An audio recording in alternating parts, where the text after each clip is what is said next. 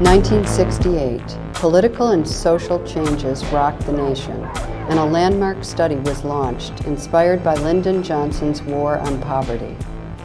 The University of Michigan panel study of income dynamics has followed the changing family lives and economic fortunes of a nationally representative sample of American families for 40 years now.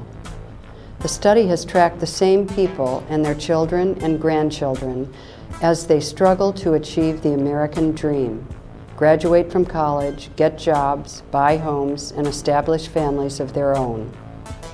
Over the years, this study has informed policymakers and others about a wide range of issues, including how much time U.S. parents spend with their children and how birth weight affects adult success. But economic issues have always formed the core of the study.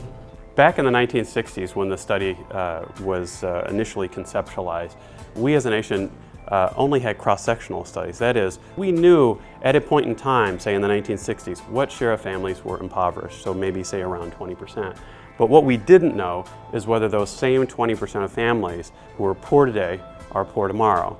The study has shown that most Americans do not stay mired in poverty or steer a steady path to financial success. Instead, the average American family's economic status fluctuates quite a bit. And the panel study is the only uh, study that allows us to, to understand whether or not, in fact, economic volatility has changed. There are always economic volatilities. Individuals are losing their jobs, they're changing jobs, they're getting married, they're improving, they're getting increases in their pay, so their economic status is changing.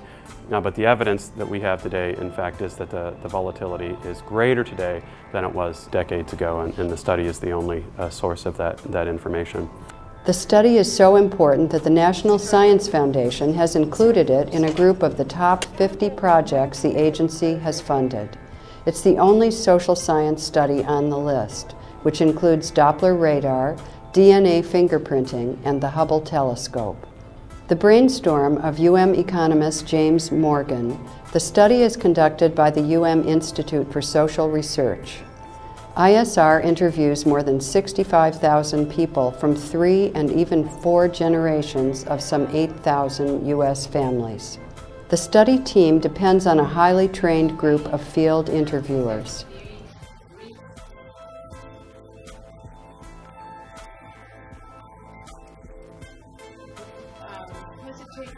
Medicare number or any answer for the security of the system. Lorraine Kelly has been working as an ISR field interviewer in central Massachusetts for nearly 20 years. I love my people. I mean, uh -huh. they know me, of course, because it's a longitudinal study. Right. Um, they're expecting me. You know, we, we have some kind of communication going. Sure. And our job is to try to persuade them because it's really important research, and especially longitudinal studies, because we're trying to find out the changes every wave, and, and we don't want to lose them. And people get tired of doing it. I mean, I'm very lucky. Most of my people just say, oh yeah, I know, we'll do it. But once in a while, you know, you'll, you'll get somebody reluctant, and, and that's a challenge to me. Even, even though I've done it for 17 years, it's still a challenge when somebody just says, I don't want to do it. But if you back off, wait, be patient, you usually will get good response.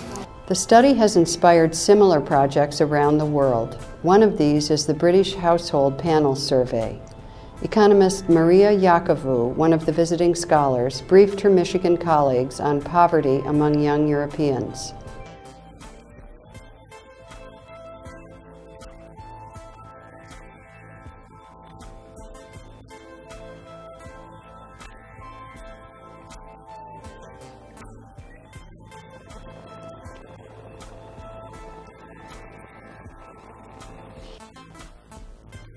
The genealogical design of the PSID, where we follow individuals and their descendants, allows us to understand also the intergenerational transmission of well-being. Americans have thought that uh, we have been a society where individuals pull, pull themselves up by their bootstraps, that in fact family background is not a major determinant of one's well-being as, as an adult. And uh, results from the, from the panel study have found that in fact the economic status of the family that you're born into is very is highly predictive of the economic status that you will attain as an adult. Looking at issues like economic mobility across countries as well as generations, the University of Michigan study has challenged a fundamental assumption about the kind of place America really is.